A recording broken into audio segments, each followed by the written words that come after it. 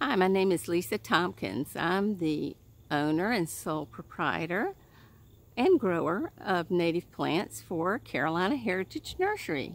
And you can see my nursery behind you in the woods in Waxhaw.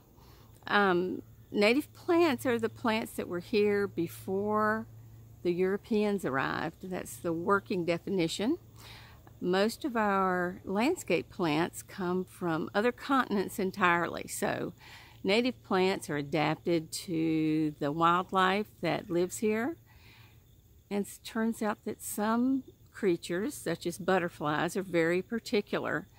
So if you don't have native plants, then no butterflies. I'm going to walk you around and show you a few different things and hopefully you'll meet some plants you didn't know or maybe you'll see some that you do know.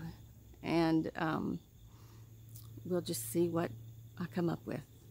This is a spice bush, which has been used by the spice bush swallowtail caterpillar. You can see these leaves have been folded. Right now, um, we're between caterpillars. They've already done their work there. They they folded the leaves where they hide out, and then they come out and eat the leaves of spice bush and sassafras. Um, so those are the only two host plants that the spice bush swallowtail butterfly will, caterpillar will use. This is Monarda punctata, spotted horse mint. It came from a local uh, population in Mecklenburg County. So this is what I would call a local ecotype. And these, these plants that naturally occur in our area are going to be best adapted to our climate and our soil and water conditions, as well as the pollinators that like to visit them. Monarda punctata, spotted horse mint. So some plants I collect uh, seed and grow the local from the local population. This is one wreath goldenrod, uh, which is a shade-loving goldenrod. Goldenrods do not cause hay fever. That's ragweed.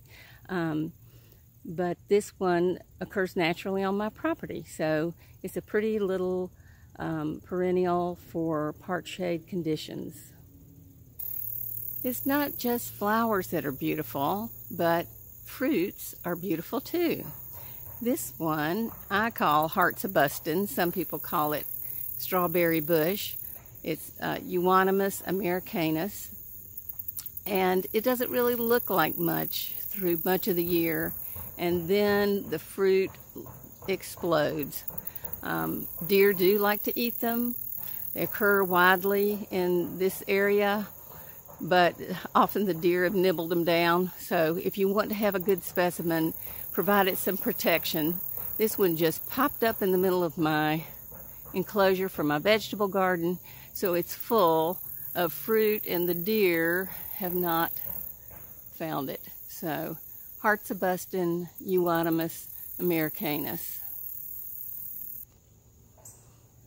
Another fruiting shrub is American Beautyberry.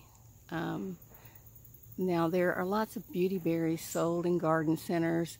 Most of them are not the native one. Um, the native has larger leaves and berries that cluster right around the stem. Um, they're beautiful. Uh, people even use them to make jelly. um, you can cut them, I believe, and take them inside for a dried arrangement. But the birds like them too. So this is some this is good bird food for fall migrating birds. This is great blue lobelia, one of about four species of lobelia that occur here in Union County. This one is pollinated by bumblebees.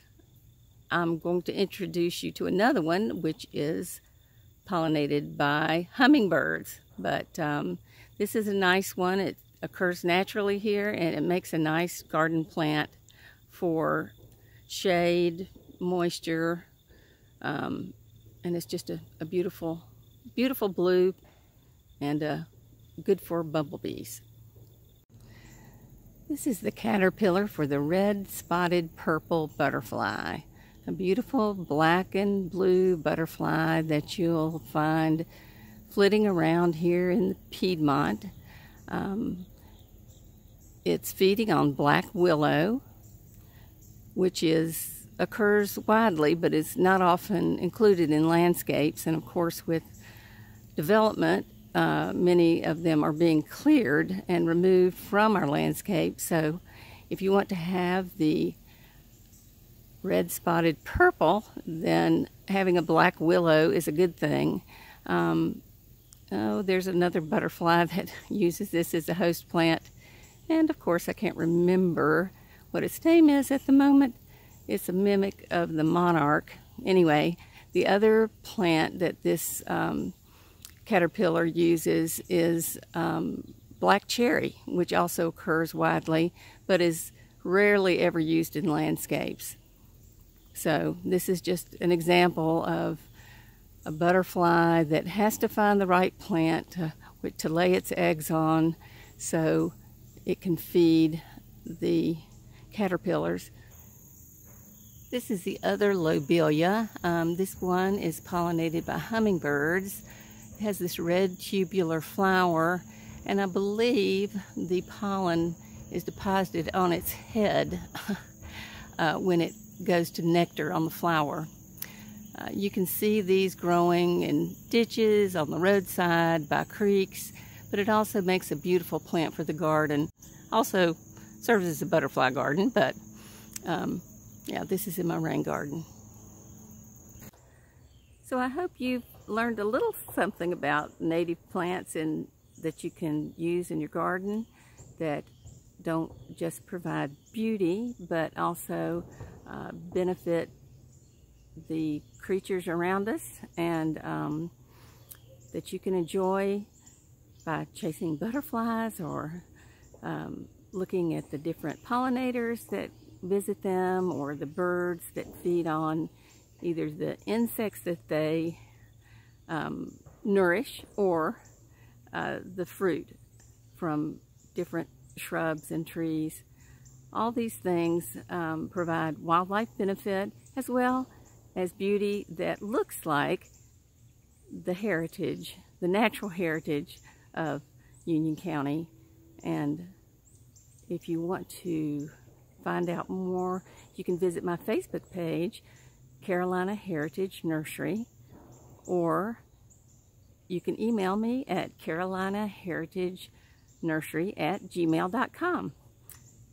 Thank you.